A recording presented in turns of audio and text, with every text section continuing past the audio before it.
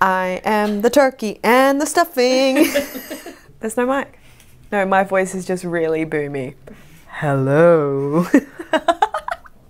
if you're one of those people that can put mascara on with your mouth shut, you're a sociopath or really good at poker.